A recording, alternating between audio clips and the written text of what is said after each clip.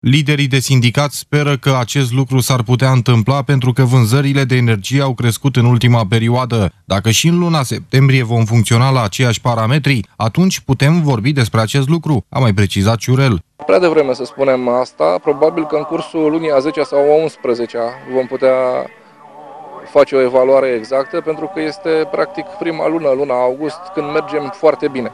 În rest, am avut luni și bune și mai, mai proaste, doar după o singură lună ca, ca august nu se poate debloca. Dacă și septembrie va fi în aceiași parametri, probabil că vom putea discuta.